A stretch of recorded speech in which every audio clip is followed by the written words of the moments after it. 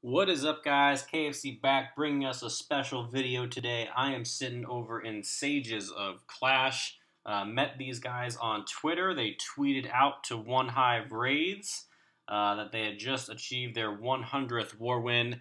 Uh, so I'm a war behind. They are now up to 101. Uh, but I came over here to give them a little bit of a spotlight. very good war log on their part. Lots of green uh, going down here. Um, so really, really awesome job by these guys so far. I have not watched any of their attacks, uh, but I do know that their most recent win uh, was a perfect war. So I'm going to go ahead and do a little bit of a recap on these uh, two wars. So we're going to start out with the war against Unpad Revenger. Uh, this is the one that got them their 100th, 57 to 51. Uh, I'm not even sure what the uh, what kind of lineups they're running here. Um, let's see, PJ kind of up at the top. He is a Town Hall 9 with 2020, and then their leader looks like a Town Hall 10.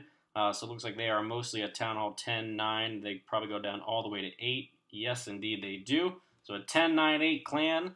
Um, let's go ahead and see uh, what kind of attacks they put on this enemy. So it looks like for the most part, clearing most of the map here. Looks like they left one Town Hall 9 up and one star the top guy. Uh, so let's go ahead and start watching some of these attacks here. Like I said, haven't had a chance, unfortunately, to watch most of them. Sages of Clash has quite the security on getting into their clan, and most of my recording time has been shrunk as the girlfriend is on her way home from work. Uh, so let's go ahead and grab a look at what these guys can do. Uh, looks like Zab here uh, going on, on, going in on this base with a shattered Goho. Uh, ton of wizards, 13 wizards. Let's go ahead and see how he uses those. Uh, got a couple of spots that are of interest here. There's a little, a couple of spots in the core for some really poorly placed doubles. Uh, but he's going to drop one hog here, grab the lure, uh, double poison, so we can fast forward through that. We know how this works. Uh, down go the balloons. He's actually not going to double poison. He's actually going to start. Very interesting. Uh, so rather than double poison, he's going to drop his uh, shattered portion over here. Line of wizards in behind. Um, so creating a very, very aggressive funnel. Didn't need that many wizards. Um, wall breakers go down, open up that compartment. Queen goes down here. A single bomb goes off there. I'm very interested to see how he's going to use this other poison spell because the, the enemy Archer Queen is now down. He must be saving it for some potential skeletons. There's the skeleton trap pops right there. Still not going to double, still not going to use that second poison. So a little bit of a mistake there by Zab. Uh, again, going to kind of Asian wall, kind of the left side over here. Um, including that Tesla that was on the corner. Single bomb goes off, no need to heal kind of in that area. Uh, heal goes down there on a very decent spot. Poison finally goes down. He's going to take out some skeletons and slow down the enemy Barbarian King. His uh, kill squad is still doing some work over here on the right. Uh, Hogs coming in. He's still got two heal spells in the bag. Drops a very nice heal there. Uh, that'll heal most of his Hogs. And then he's got one final heal. That'll probably end up used uh, closer to the left side of the base since the Queen is working around the right. Um, so I would expect to see that down probably sometime right around now over on that Wizard Tower and that cannon. Uh, granted, most of his hogs did go to the right. Uh, a couple of hogs there. Trip that cannon. He's going to drop his hogs in that Wizard Tower. Um, didn't really need it, but go ahead and swags it over there. Uh, heals those hogs back up. They're going to take out that cannon and then finally turn around and beat on the king. Uh, he's got three wizards in the bag. A little slow on his cleanup here. Uh, those three wizards need some love. There we go. One up there on the spell factory. Um, still got two more. He's going to drop those at 9 o'clock and 6 o'clock uh, to speed up his cleanup process. So good attack by Zab. Couple of things that you could tighten up there, buddy. Um, I don't know you personally, but uh, hopefully you watched the video. Um, usually, uh, Goodfellas style is to cap ourselves at around eight wizards. Um, just have enough wizards to, to make your funnel and enough wizards to clean up, and you'll be good to go. Uh, number one looks like it was a bully attack, so we'll skip that. We've already done Zab, so we'll go down to PJ here, taking out the number five. Uh, see what kind of base he's taking out here. So as you can see, this 100th war wasn't a super difficult war for them. Um, but once again, uh, same composition as uh, Zab, uh, bringing a Shattered Goho with 13 wizards. Uh, I would definitely recommend uh, you guys stop taking so many wizards. so let's go ahead and see how he gets this. I assume we're going to see a pull up here. one hog goes in. Let's see if he double poisons or if he saves the... Um, another poison spell for a potential ground skeleton. So there goes down to one poison there. Um, gonna oh we missed the balloon, so definitely that other poison should go down soon. Nope, he's also gonna skip it. Um, so definitely you see a, a, difference in style here between um, the clan that I run and this clan, uh, not using that double poison trick to take out that dragon. And so that dragon is to start roasting on this golem here. Uh, Archer Queen is beaten away uh, now at that dragon, takes it out. Skeleton Traps pop. Uh, good spot for that second poison spell if there was ever going to be one uh, right around here with these double heroes and those skeleton traps. But it looks like the skeleton traps are now gone and the heroes are now being targeted. Uh, so he might just have a poison in the bag at this point uh, for this raid.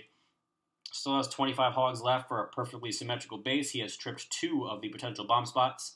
And we have to assume that those other bomb spots are kind of in these kind of compartments right here and the Barbarian King should remove pathing to the one single, and then the left side Wizard should remove pathing to the other one. Uh, there indeed goes one, and so he's going to massively uh, kind of two finger drop his hogs there. Let's go ahead and slow down uh, this heal spell. Uh, let's kind of see how well it's placed here. Got all those hogs at the front end of the heal spell, so that's great. Uh, these hogs are unfortunately looks like they're going to miss out on the heal, so he might at this point need to drop a heal kind of in this area. Um, so these hogs, for the most part, are going to path over to the left, and they're kind of unprotected. Uh, so let's go ahead and see if he does that. Uh, so the hogs on the right there getting healed up. Uh, boom, there goes the second heal spell on the hogs on the left. Uh, and he has one heal spell left, and there's a very easy uh, target for that heal spell, obviously over here in this final compartment here. Um, all the bombs have been tripped, so there's really no nothing to worry about. Um, heal spell, boom, there it goes. Very nicely placed on all of those defenses. That's going to get them all worked. Um, got some wizards there. All th three wizards go up at 12 o'clock. There's some corner huts um, I would have liked to have seen a couple of wizards here on these uh, these corners. Um, but for the most part, uh, it's just going to make a little bit of a longer cleanup process. Uh, Queen goes over here and snipes the uh, 3 o'clock one, and these hogs will go ahead and grab that 9 o'clock one.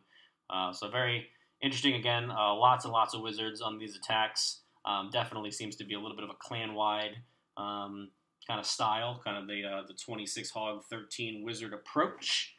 so nice attack there by PJ. Let's go ahead and look at some more attacks here. Uh, kind of see uh, why does my girlfriend crush my soul? Because I record replays and I don't give her enough attention if she walks in as I'm recording them. Uh, so we actually just saw this base in a, in a recent war recap for us as well. Once again, we see the massive amount of wizards, 14 wizards. Uh, you guys definitely love your, it's a shattered go-ho with 14 wizards. Uh, another double poison, so I'm, I'm still interested again to see um, if anyone does the double poison trick, or if everyone just kind of does the one poison and then saves the other one. So single poison. Okay, there's a double poison, so that'll take out the dragon. So I'm liking Peeps Republic. Uh, it's definitely the right way to kind of take out uh, the um, the CC there. Uh, lots and lots of wizards go down. Does save three for cleanup. Um, I would encourage you guys, the more and more I watch these replays, to try and figure out how many wizards you need for your funnel, um, and then kind of cut yourself there because 14 is a little bit too many. Uh, but anyways, the Hogs here going around in a nice clockwise fashion. Uh, final heal spell goes down in a perfect spot. It's going to cover the three Teslas and the final Archer Towers. Um, and he's got plenty of hogs up. He's going to run into a little bit of a bomb issue down here. Boom. So it looks like these hogs kind of might start getting picked off by this king, but he does have plenty to just kind of turn around, beat on the king. Uh, so a little bit of a scary uh, moment there, I'm sure, but very easy cleanup process for Peeps Republic and that'll be another three star for Sages of Clash.